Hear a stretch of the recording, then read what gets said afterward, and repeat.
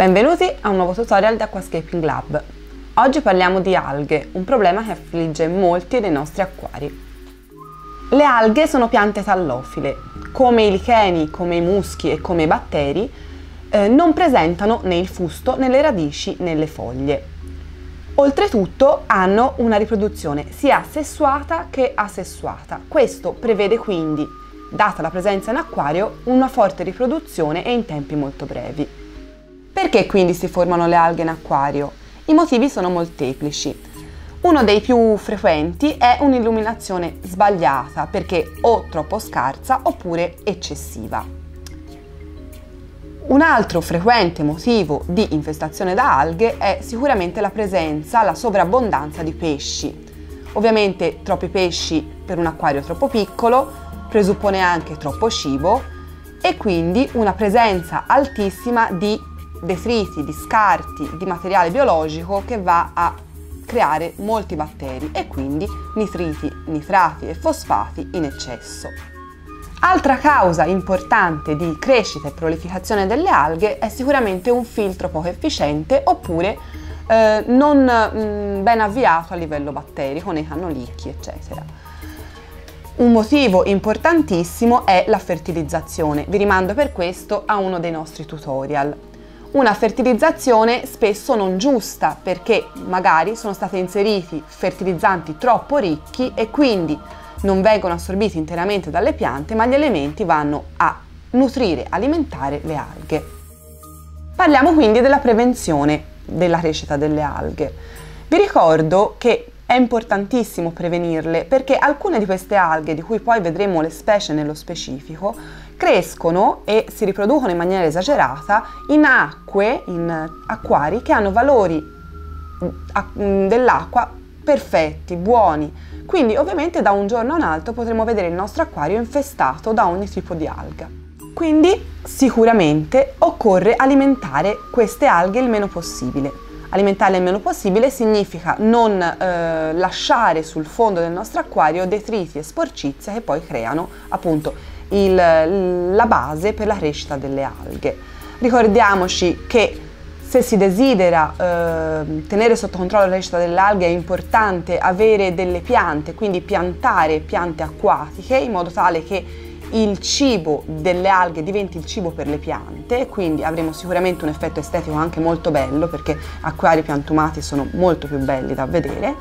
Ricordiamoci della sovrappopolazione dei pesci che non può essere esagerata perché crea ovviamente sporcizia e del cibo, il cibo dei pesci che deve essere in quantità giusta.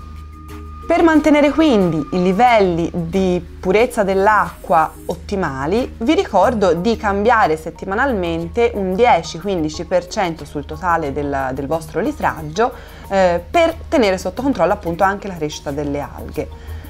Fattore importante di prevenzione è l'illuminazione. Vi rimandiamo giusto appunto a questo tutorial.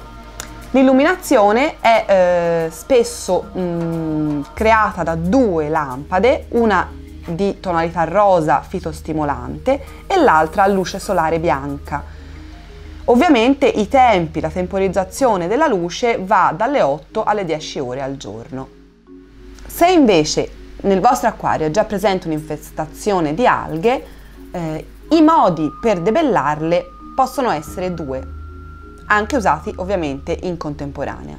Un, me un metodo meccanico e un metodo chimico. Il metodo meccanico prevede l'uso eh, di raschietti, spesso con lame di rasoio che vanno a pulire molto bene soprattutto i vetri e anche con delle spugnette leggermente abrasive, anch'esse adatte per il vetro o per gli allestimenti, con molta attenzione e molta cautela ovviamente. Un metodo diciamo biologico può essere quello di inserire pesci alghivori nell'acquario o anche chiocciole alghivore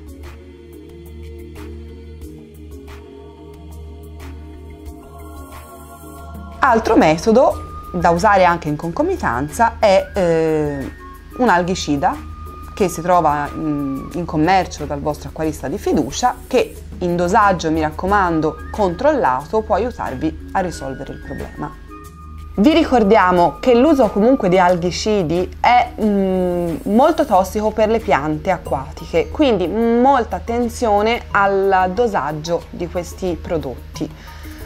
Andiamo a vedere adesso i più frequenti tipi di alga, grazie a delle foto potrete riconoscerle e vi aiuteremo così a debellarle.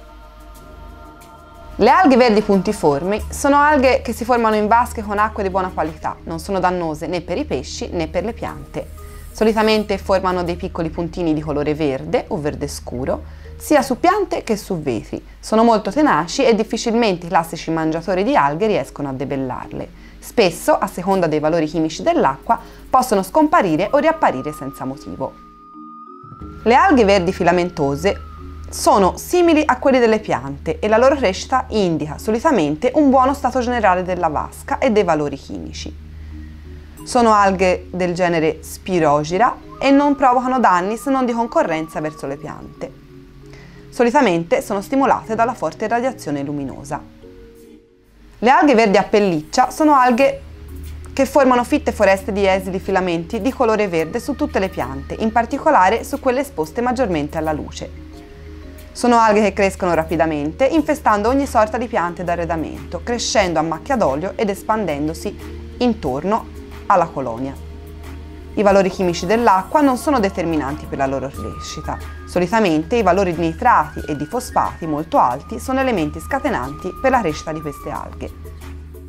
Le alghe nere puntiformi compaiono solitamente sulle piante con foglie coriacee come Anubias, a seguito di grossi innalzamenti di composti azotati e fosforici.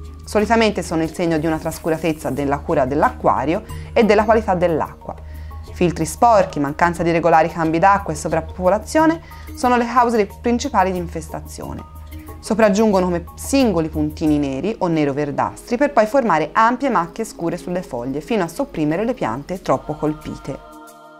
Le alghe nere a pennello sono il terrore di ogni acquarofilo. Solitamente compaiono come piccoli ciuffi di colore nero per poi formare una sorta di barba lungo il margine fogliare di piante coriacee.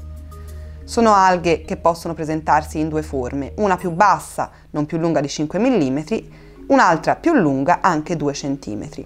Solitamente, al contrario di quanto si dice in giro, è un'alga che non ama le acque sporche o cariche di composti organici. Al contrario, un eccesso di nitrati e fosfati rallenta la loro crescita.